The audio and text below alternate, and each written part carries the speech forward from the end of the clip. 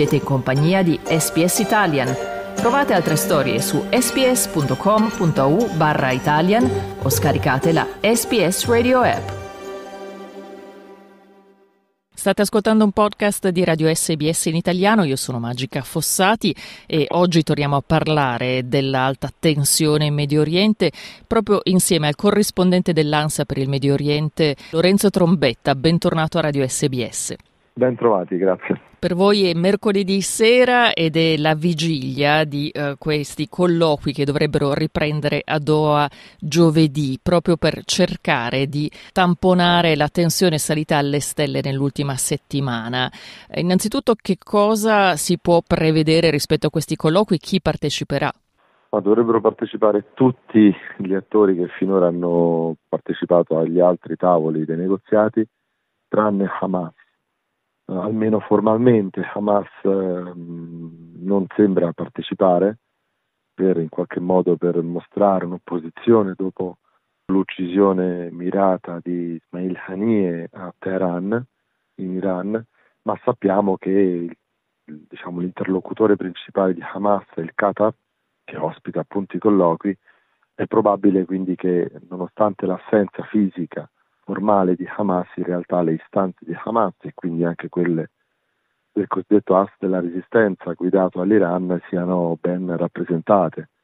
eh, se no in qualche modo sarebbero dei colloqui senza la controparte e questo evidentemente non è nell'interesse di nessuno, almeno in questo momento. Secondo quanto trapelato, il premier israeliano Benjamin Netanyahu non vorrebbe transigere sul punto della liberazione di 33 ostaggi vivi. Che cosa si sa in proposito? Non si è saputo nulla di, di concreto su questo perché appunto Hamas, una delle carte negoziali eh, più, più forti o quelle che ritiene essere più forti è proprio la segretezza rispetto allo stato di salute, la presenza, il numero degli ostaggi sia civili che militari. E questo fa parte appunto sia della guerra psicologica che del, del tentativo di mostrarsi con delle capacità negoziali maggiori rispetto alla controparte. Quindi è possibile che innanzitutto questo giro di, di nuovi negoziati non porterà a un accordo eh, immediato, anche perché le, le, condizioni poste da Netanyahu sono uh, quelle che conosciamo da tempo, ma non sono necessariamente accettate da, da, Hamas e dagli attori che poi sono, sono, sostengono Hamas. Ma uh, poi anche se si dovesse entrare nel merito effettivamente del, del, numero degli ostaggi e del tipo di ritirata israeliana e del rilascio eventuale di prigionieri palestinesi eccellenti come Barghouti, cui si fa tanto il nome in questi giorni, ecco, se si dovesse entrare negli aspetti più tecnici eh, non è detto poi che le parti possano rispettare i termini di questi negoziati che oggi come oggi sembrano preliminari dopo tutto quello che è successo, quindi andrei con i piedi di piombo rispetto all'ottimismo che ci può essere anche alle previsioni sul numero di ostaggi da liberare, su, sulla controparte, eh, la controofferta diciamo israeliana. Poi tutto può succedere, però stando così le cose credo che ne avremmo da, da ascoltare di botta e risposta negoziali e non negoziali ancora per qualche settimana almeno. Lorenzo, tu sei basato per lo più proprio in Libano, altro attore importante di questa crisi che appunto si è eh, innescata a partire da ottobre dell'anno scorso, è arrivata ormai al decimo mese. Qual è la situazione nel paese in questo momento e soprattutto continuano anche le scaramucce, se possiamo chiamarle così, tra Israele e Libano? Sì, tra, in, tra Israele e Hezbollah, Hezbollah è il movimento armato libanese che fa parte del, di tutto l'asse della resistenza anti-israeliana in Medio Oriente, collegato molto fortemente all'Iran i botte e risposta militari proseguono dall'8 ottobre scorso con uh, un innalzamento della tensione e anche della violenza e quindi anche delle vittime, soprattutto sul lato libanese a causa dei raid di artiglieria aerei israeliani, continuano ogni giorno. Più che di scaramucce si può parlare anche di guerra, di guerra vera e propria, alcuni parlano di guerra a bassa intensità, comunque in termini di numero di sfollati, parliamo di circa 100.000 sfollati dal sud del Libano e 60-70.000 dal nord di Israele, la quantità di armi usate, eh, l'impegno militare di, di Hezbollah da una parte e di Israele dall'altra sono tutti, sono tutti dati che indicano l'esistenza di una vera e propria guerra che va avanti appunto da dieci mesi, come ricordavate voi. Eh, il Libano come Stato eh, in realtà non è molto presente o è presente come sostegno alla causa di Hezbollah. Poi ricordiamo che il paese, che ha una superficie più o meno grande quanto quella della regione italiana Abruzzo, vive da ormai cinque anni in una crisi finanziaria senza precedenti nella sua storia con una economia disastrata e con una, un aumento impressionante del, della povertà nel paese, specialmente nelle zone più periferiche, rurali, comunque non nella Beirut cosiddetta bene. Questo fa sì che il Libano soffre particolarmente una, una situazione di stallo causato dalla guerra, che sebbene sia in qualche modo contenuta nelle regioni meridionali, nella, in alcuni casi anche nella valle della Bekaa, e nella periferia sud di Beirut, la roccaforte di Hezbollah, nonostante la guerra in sé, la guerra guerreggiata sia contenuta soltanto in alcune aree geografiche,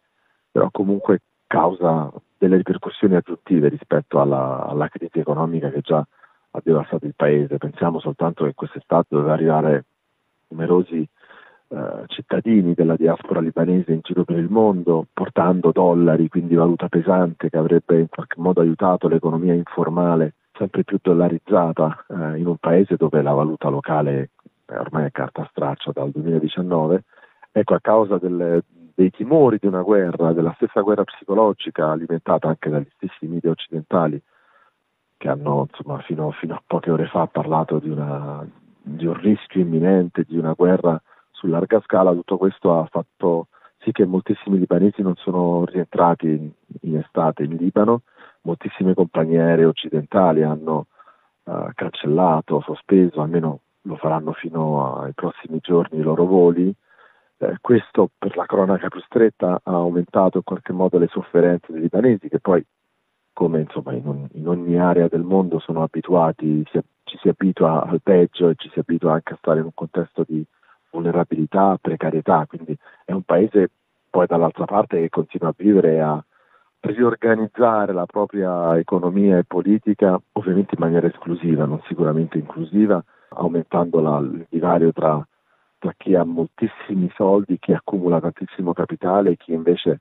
sta sempre peggio, però se si, oggi se si va in un bar di Beirut eh, o in una piscina fuori la capitale in realtà si potrebbe anche scorgere un'estate normalissima come, come magari ce ne sono tantissime in altre città del Mediterraneo. Ecco, bisogna sempre guardare il paese con uno sguardo da diverse prospettive e non farsi ingannare dalle cartoline che ci possono arrivare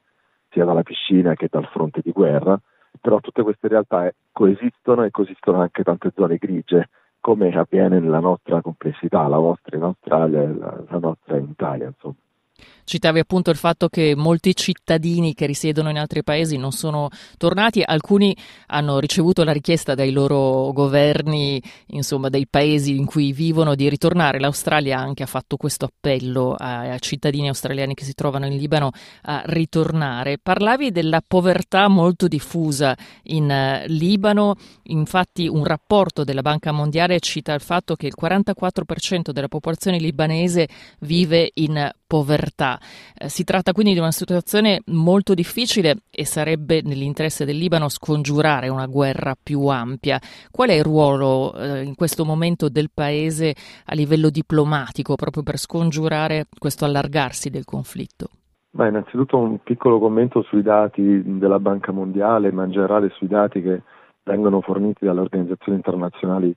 diciamo, di stampo occidentale che si fondano sull'idea che eh, in ogni paese c'è un, un ente eh, della statistica e i dati che emergono sono quelli reali. In realtà in un paese come il Libano, con un'economia molto informale, anche se il termine informale ovviamente è, è soggettivo, ma quello che noi consideriamo formale è per esempio tutto il flusso di denaro tracciabile per le banche, per tutto quello che sappiamo magari in contesti dove lo Stato e le istituzioni funzionano come funziona in Nord America, in Australia o in Europa centro-settentrionale. Tutto questo non è sempre applicabile a un contesto come quello libanese e anche in altri contesti mediterranei, per cui questi dati sulla povertà sono agghiaccianti se li leggiamo in maniera così neutra, decontestualizzata. In realtà poi se andiamo a vedere quello che si muove sotto, che non è tracciato diciamo da e quindi non, non rientra nella raccolta dei dati della Banca Mondiale o delle Nazioni Unite, racconta una fotografia assai più sfumata, per cui sebbene quella famiglia risulti povera, diciamo sulla carta come risulterebbe in Australia o in Italia, in realtà poi quella famiglia riceve dalla diaspora delle rimesse in maniera non tracciabile eh, o riceve altri tipi di aiuti dal partito locale o dal, dal movimento confessionale religioso, anche questi non tracciabili, per cui in realtà poi troviamo una situazione che non combacia con i dati che abbiamo appena letto sul giornale che sono stati riportati alla Banca Mondiale, per cui in qualche modo bisogna sempre, sebbene siano comunque dei dati che destano preoccupazione, ma cercare di eh, immaginarci un contesto più complesso anche stessa, nel, nel, modo in cui si fotografa una situazione, se no non si capisce come mai un Libano da, da cinque anni sopravvive al, al, a un default economico che è assai più grave di quello dell'Argentina o della Grecia degli ultimi vent'anni, cito gli esempi più, più clamorosi eh, ovviamente. Per quanto riguarda eh, la domanda sul ruolo diplomatico, ecco anche qui il Libano inteso come Stato-nazione che ha un Parlamento, un governo, un ministro degli esteri, è, eh, sostanzialmente segue la politica estera, in questo caso del movimento armato che più in qualche modo è, è vicino all'Iran, che Hezbollah e che ha un interesse sia locale, localissimo, interlibanese, sia libanese sia regionale, di mandare avanti un, un progetto politico, culturale, militare di resistenza alla presenza dello Stato ebraico. Eh, su questo lo Stato libanese non riesce ad articolare una risposta in quanto Stato, ma è eh, per alcuni ostaggio, per altri è virtuosamente ispirato da un progetto che è sovrastatale come quello di, di Hezbollah eh, e che trova il consenso anche di, di, altri attori libanesi, sia ben chiaro, ma trova anche lo, l'opposizione di altri attori, sempre libanesi, che invece sono più vicini politicamente e culturalmente al, magari a, a progetti statunitensi, francesi, britannici, israeliani. E, e, a proposito dei paesi che hanno diramato l'allarme ai propri concittadini di lasciare il Libano, di non recarsi proprio in Libano, sono guarda caso, se guardiamo la mappa di questi paesi, tutti paesi che hanno ottime relazioni con Israele o che addirittura difendono uh, gli interessi di Israele nell'area. E secondo me quegli allarmi, che peraltro per esempio l'Italia non, non si è accodata a, questi, a questo allarmismo, sono stati anche enfatizzati alla necessità di del sistema diciamo, che sostiene Israele in Medio Oriente per alimentare la guerra psicologica in Libano e far sì che i libanesi stessi vivessero ore, giorni, settimane di, di grande incertezza. In qualche modo se non si può fare la guerra si parla moltissimo della guerra, si evoca moltissimo della guerra e questo comunque costituisce un danno. E spera che la popolazione libanese in qualche modo possa ribellarsi a Hezbollah e in qualche modo indebolire il partito di Dio. Questo per ora non è avvenuto, almeno forse non è avvenuto in maniera evidente, però credo che gli allarmi delle ambasciate dei, dei vari paesi che evidentemente sostengono Israele dalla nascita dello Stato ebraico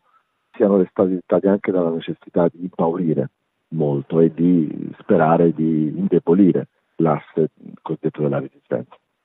Grazie allora per il momento e buon lavoro. Ci risentiremo prossimamente qui sulle frequenze di Radio SBS. Grazie a voi.